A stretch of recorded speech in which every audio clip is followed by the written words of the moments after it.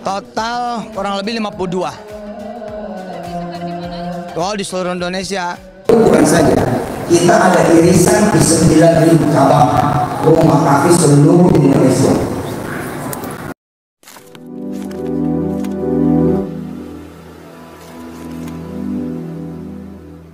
Assalamualaikum warahmatullahi wabarakatuh Welcome back to my channel Detektif D Ya teman-teman Kita masih ngomongin pesantren milik Yusuf Mansur dan ya Tafiz ya. Jadi uh, Kalau kemarin kita ngomongin jumlah Ya memang ini masih terkait ya teman-teman Dengan jumlah yang dikatakan sama Yusuf Mansur. Nah kalau kita melihat uh, Bukan progres ya Lebih tepatnya uh, Apa ya kayak perilaku gitu yang dilakukan Yusuf Mansur ketika dulu-dulu terus sekarang dan e, ketika ngomong di media dan fakta di lapangan. Nah, ini akan kita e, ulas satu persatu. Jadi kenapa saya katakan akan mengulasnya karena ketika Yusuf Mansur ngomong di media mainstream terutama sekarang ya saya nggak tahu yang dulu itu ya mungkin bisa jadi bohong di media mainstream yang dulu itu dengan yang sekarang itu berbeda dan ketika dia ngomong bicara tentang uh, misalnya kayak rumah tafis yang atau pesantren atau apa yang sekarang dengan yang dulu berbeda teman-teman. Cuma ya intinya dia itu tahu di mana dia harus bicara. Jadi dia uh, paham ya. Tapi kan gini ya teman-teman. Ini kan harusnya memahami konteksnya ya. Karena dia ngomong di mana pun mau dia di media mainstream atau di media sosial ya seharusnya dia berkatanya sama. Karena apa karena ini akan menjadi jejak digital. Karena juga sebenarnya saya itu kalau melihat video yang ditayangkan itu itu kebanyakan sebenarnya dari dakunya sendiri gitu ya dari daku channel itu sendiri. Jadi itu akun resmi mereka. Ya tapi saya nggak tahu lah mungkin dia anggap wah ini kan ngomongnya di masjid gitu di luar media mungkin kayak gitu pikirannya. Jadi dia bisa ngomong seenak hati gitu ya. Nah kita akan perbandingan uh, video itu dengan fakta yang misalkan dilakukan oleh uh, Pak gitu ya. Investigasi yang dilakukan Pak Darso nah teman-teman kita lihat dulu video ketika ya mimbar di masjid ya teman-teman.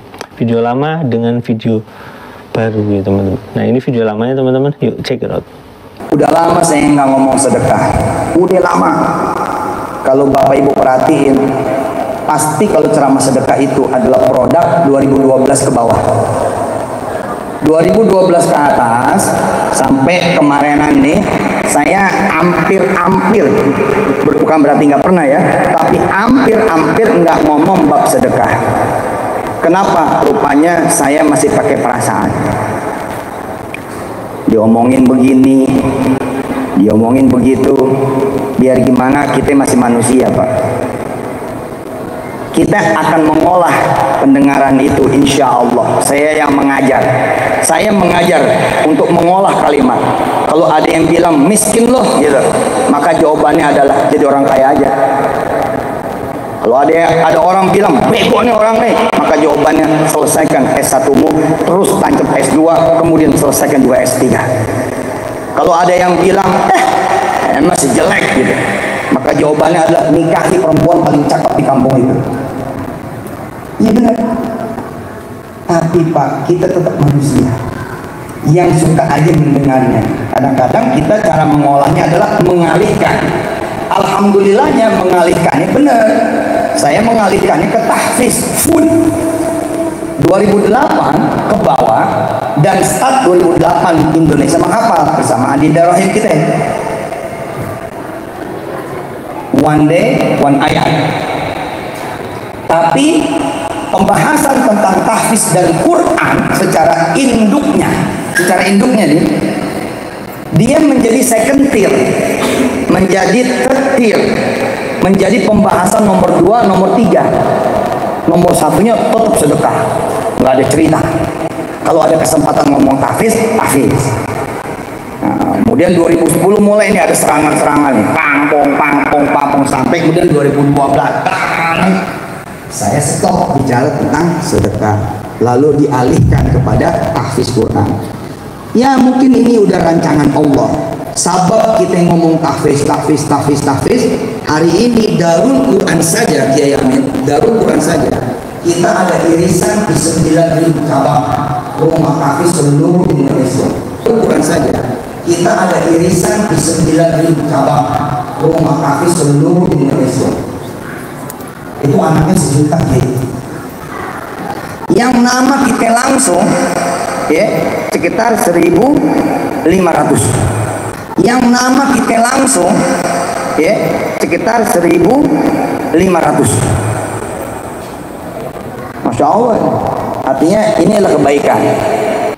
Oke itu teman-teman video nah itu video itu itu adalah video yang kemarin saya sudah bahas dan itu di tahun uh, di dua tahun yang lalu di 2021 ya teman-teman. Nah sekarang kita lihat video yang uh, bulan kemarin. Yuk check it out. Saya berdoa tuh punya seribu pesantren gratis dikasihnya dua puluh ribu. Eh, ya. Walaupun orang yang buka. Kopi datang masya nggak sampai tujuh hari bu. Makasih ya dek masih utang. Bisa murah kamu. Nggak bersyukur Bu, boleh ngopi dulu Bismillahirrahmanirrahim Allah Akbar ini bukan pertunjukan biasa ini pertunjukan doa. Saya minta sama kau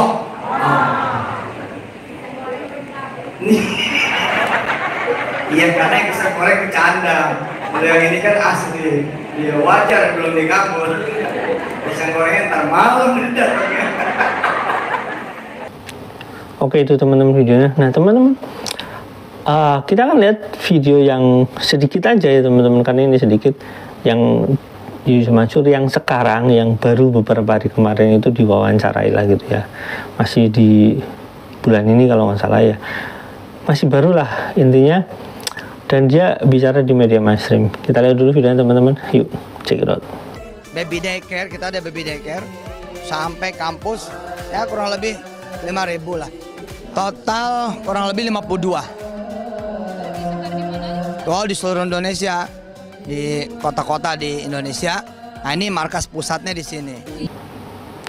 Oke itu teman-teman videonya. Nah teman-teman sekarang kita lihat fakta di lapangan dan nanti setelah ini uh, saya akan ulas ya, ulas ya karena uh, fakta di lapangan ini kebetulan saya juga sudah pernah investigasi dan ini investigasi Pak Darso karena masih baru. Kita lihat teman-teman, yuk check it out. Jumat tanggal 11 Oktober 2024 lepas asar saya di pesantren Hidayah Kombin Serang. Baru saja bertemu dengan Kiai Ali pengasuhnya. Dan ini adalah masih ada ada, ada apa namanya Hafiz Yusuf Mansur ya rumah Hafiz Yusuf Mansur ada nomor induknya. Ya sekarang jadi Oke. Dan seperti itu mitranya Pak Kiai membangun, membina pesantren tahfidnya ini dengan daya sendiri tanpa ada support apa pun juga dari Yusuf Mansur. Oke itu teman-teman videonya. Nah teman-teman kita akan melihat perbedaan yang sangat jelas ya.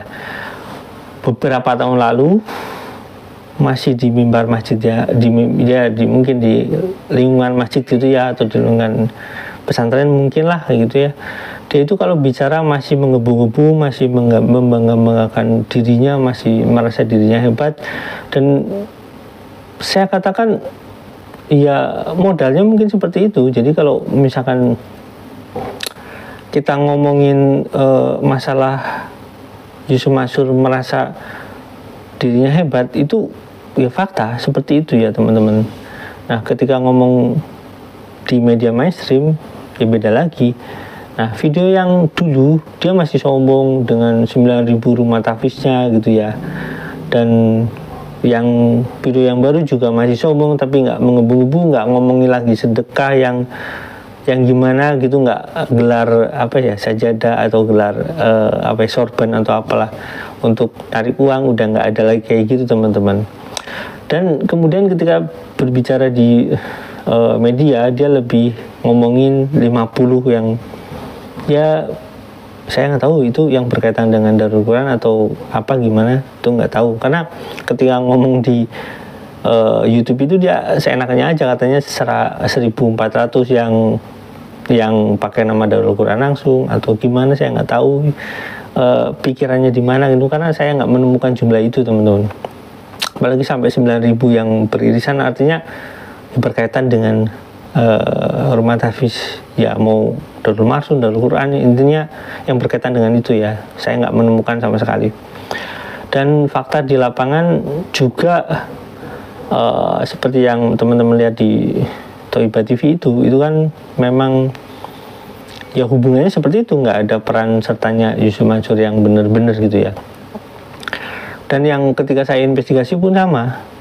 Ya mereka itu nggak ada sama sekali sumbangsi Yusuf Mansur apalagi kalau dia katakan ya uang dari ya restoran dia gitu ya. Dalam tanda kutip itu restoran milik ya Jody dan Yusuf Mansur sebenarnya gitu ya sumbangsi dari sana untuk rumah tafis di sekitar yang mungkin nggak ada ya teman-teman. Saya nggak tahu. Yang pastinya ketika saya temui orang-orang yang mendirikan menggunakan nama itu dibilang ya nggak ada sih. Nggak ada sama sekali gitu ya.